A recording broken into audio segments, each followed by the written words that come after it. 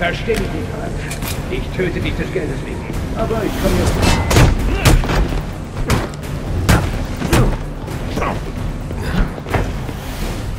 Batman ist zurück in einem neuen Spiel. Es heißt Batman Arkham Origins und ist ein besonderes, denn Rocksteady hat gar nichts mit zu tun diesmal. Ja, sie haben eigentlich nur die Story äh, beigesteuert und so ein bisschen geholfen, aber das ist das erste Arkham-Spiel, das äh, von einem neuen Team stammt, von äh, Warner Brothers Montreal. Und ähm, was sie hier machen, ist, äh, sie erzählen eine Vorgeschichte. Nicht die Entstehungsgeschichte von Batman, sondern er ist jetzt zwei Jahre im Einsatz und äh, er tritt jetzt so das erste Mal großen Erscheinung, trifft zum ersten Mal auf diese ganzen Superschurken wie Black Mask und so weiter. Und es ist eine äh, sehr coole Geschichte. Äh, fängt erstmal langweilig an, aber entwickelt sich dann sehr cool, nämlich äh, Black Mask hat so Killer angeheuert, die Batman halt das Leben schwer machen sollen.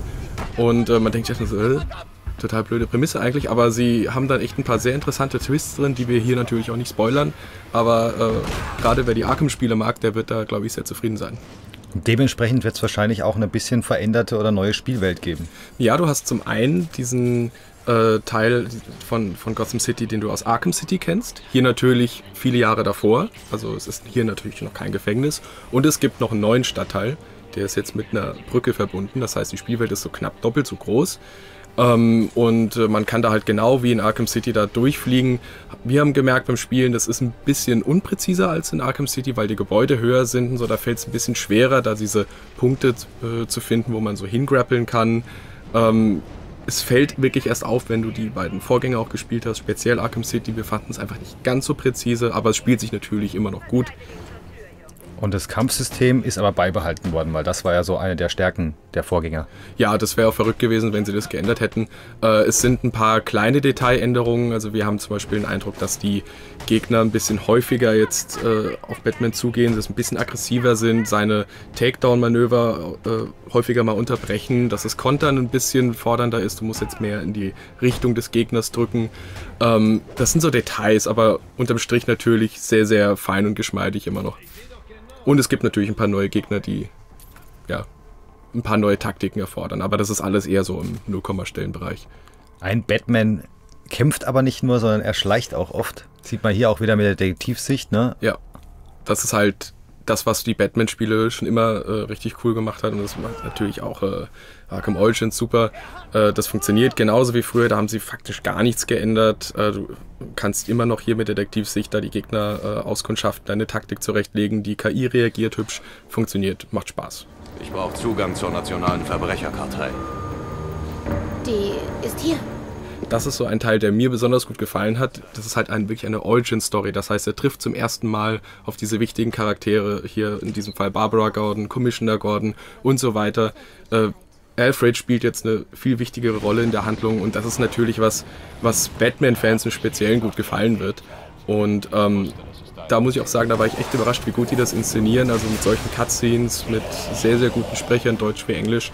Also da ziehen sie zu ziemlich alle Register und das ist ja auch das, was du eigentlich haben möchtest von so einem Spiel.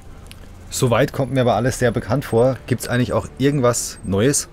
Ja, also wirklich Neuerungen sind äh, rar gesät. Es gibt so ein paar neue Gadgets, auch davon nicht viele. Hier diese Fernlenkkralle, mit der kann man so zwei, drei neue Faxen machen. Da zum Beispiel ähm, kann ich jetzt hier äh, so einen Feuerlöscher da selektieren und einen Gegner und dann schießt er den halt da drauf. Ist so eine kleine taktische Möglichkeit. Kannst du ab und zu mal einsetzen, ist lustig. Außerdem kannst du da so Seile halt spannen. Ähm, ist jetzt aber auch nichts fundamental Neues. Und ähm, es gibt auch gefühlt nicht so viele Geschicklichkeitspassagen wie in den Vorgängern. Deswegen, es ist nett, es ist ein Tool, aber ist jetzt nicht bahnbrechend. Das ist übrigens eine Stelle, die ich sehr witzig fand, weil, weil Batman ja noch nicht groß in Erscheinung getreten ist, ist er noch nicht mit der Polizei so richtig grün und hier muss er sich dann in eine, ein Polizeirevier reinschleichen, äh, was halt äh, geil ist, weil er halt endlich mal äh, was Neues macht. Also es ist nicht äh, wie immer nur Ga äh, Gangster verhauen, sondern hier muss er halt äh, schon ein bisschen behutsamer vorgehen. Polizei verhauen. Ja, aber natürlich, äh, ja, wie gesagt, zahm. Äh, auch neu äh, die Schockhandschuhe. Das sind so elektrisch geladene Handschuhe, mit denen er halt brutalst austeilt.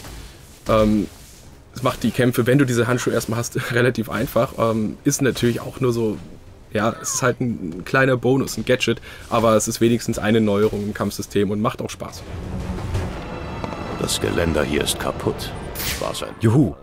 CSI Batman auch wieder am Start. Das mochte ich ja in den Vorgängern sehr gerne tatsächlich, auch wenn es immer sehr einfach war. Ja, es ist nach wie vor einfach, es ist genauso einfach wie früher, aber sie haben die Inszenierung ein bisschen geändert von diesen Verbrechen, diese, diese Fallakten, was ist da passiert.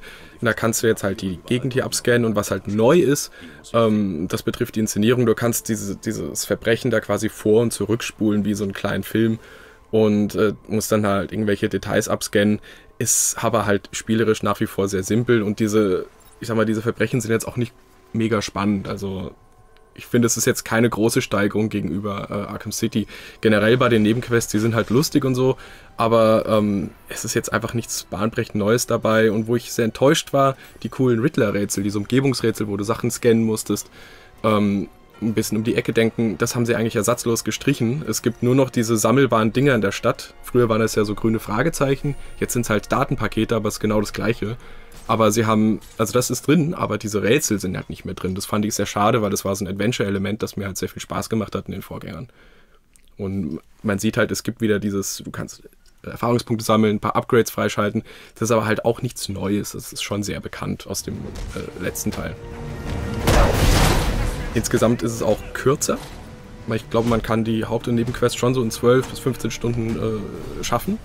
Und dann gibt es halt ja, noch die sammelbaren äh, Riddler-Datenpakete und dann gibt es noch ein, ja, so jede Menge Challenge-Maps wie hier, wo ich halt so eine Punktejagd machen kann. Und dann gibt es noch einen neuen Multiplayer-Modus, der sehr vielversprechend ist. Der wurde von Splash Damage entwickelt. Den können wir hier leider noch nicht zeigen. Der ist aber schon äh, sehr, sehr interessant und da ähm, kannst du nämlich auch als die Gangster spielen. Und da äh, werden wir dann uns dann später nochmal nach dem Release anschauen, wie sich das so entwickelt. Summa summarum wirkt es für mich wie ein äh, sehr gutes Spiel, das aber jetzt nicht unbedingt so genial ist wie die Vorgänger, weil es auch zu wenig wirkliche Innovationen bietet. Richtig? Richtig, richtig ja. Das kann man so sagen.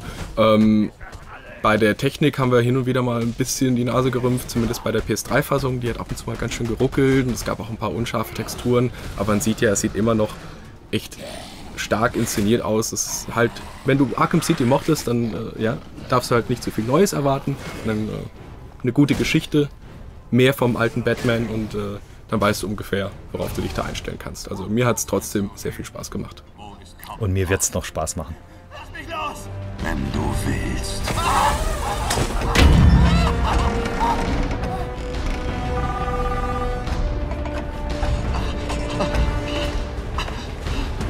Bitte, stopp!